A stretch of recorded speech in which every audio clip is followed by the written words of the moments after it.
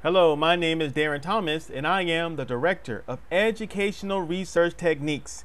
In this video, we are going to learn about the if, and, and also the or functions inside Microsoft Excel. So let's go ahead and see what we can learn. So I'm clearly inside Microsoft Excel. And this is what we're going to do. The if function will execute some sort of a behavior or action that you specify based on some sort of a criteria. So uh, right now I'm in column D, row number three, and I'm going to do equal sign. And I'm going to do the following. If, then I'm going to say if um, C3 equals 1, then I put a comma. Now, if it's true, it's to put this. It's to put the, the, the string awesome inside the current cell I'm in. Whoops. And then, if it's not true, then this is what it's to put. It's to put the string awful in the current cell that I'm in. Oh, I got to put the quotation mark. All right. So I press enter and you can see I got awesome because C3 is 1. So therefore I got awesome here.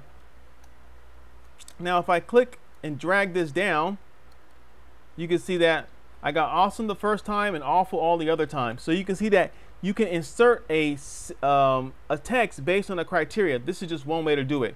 Now I can also kind of do this again, but I can do it a slightly different way. I could do equal sign if, and then I could do the following.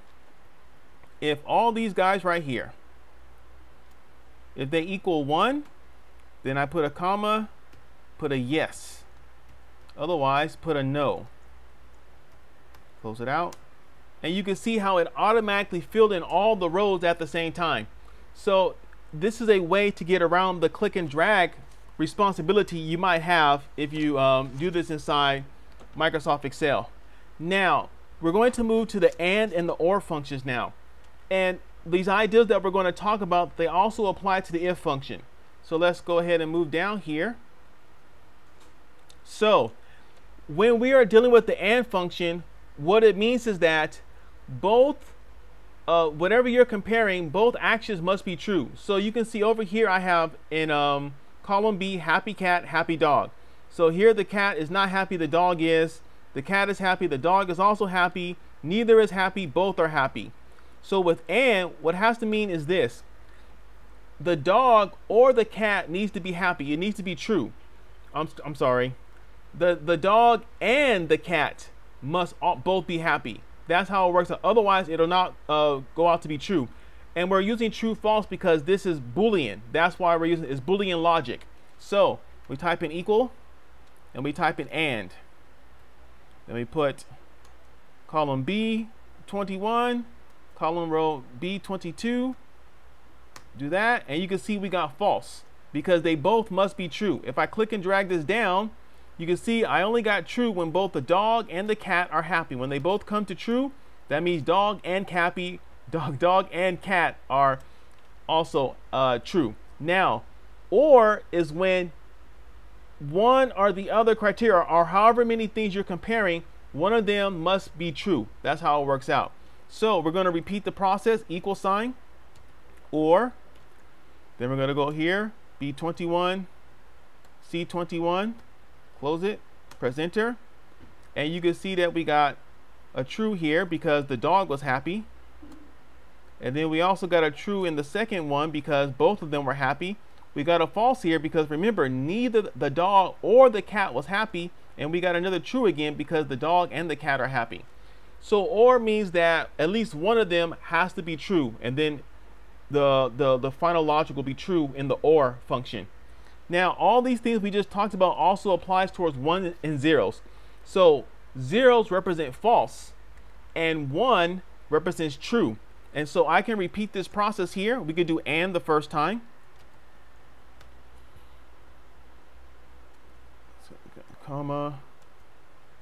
All right. And you can see I got the same answer as above. Everything is exactly the same. And I can repeat the process for or here. And so that one, then a comma, And then this one, close it out. And then of course it's true the first time. And then we get the exact same answers going all the way through. So you can use the all caps false and true, or you can also use zeros and ones, whatever works best for you. Now, what we're going to do next is we're going to combine all this knowledge that we've acquired into a practical example. So what we have here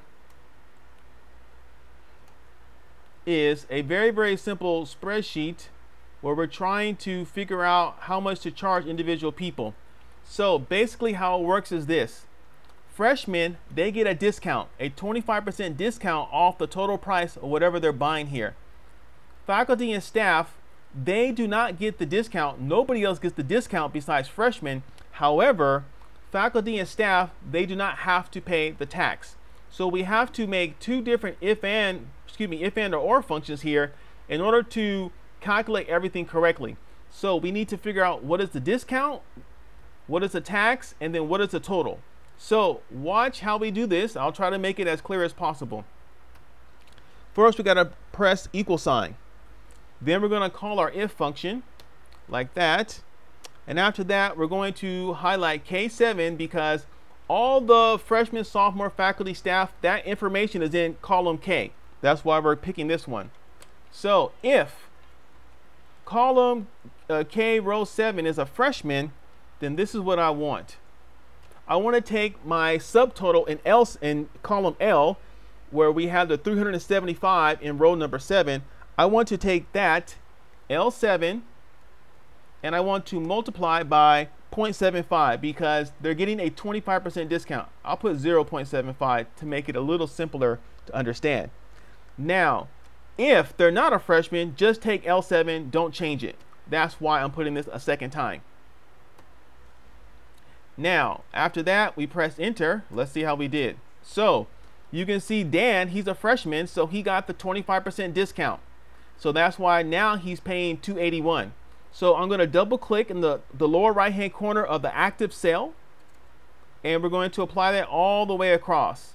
So only Cheryl, Daisy, and Dan get the discount. Everybody else is paying full price. Now we're going to put in our second, uh, our second a logical function here, and we have to do something called a nested function where we have a function within a function. All right, so I press equal, if, and then I say or. Because why am I using or? Because now the criteria is this. Either they're faculty or staff, then do something. If they're not faculty or staff, don't do anything. That's why we're using an or function here. So I put or next. And then Inside the OR, I do K7 again because that's where all my information for what category they're in is at. And it's going to equal faculty,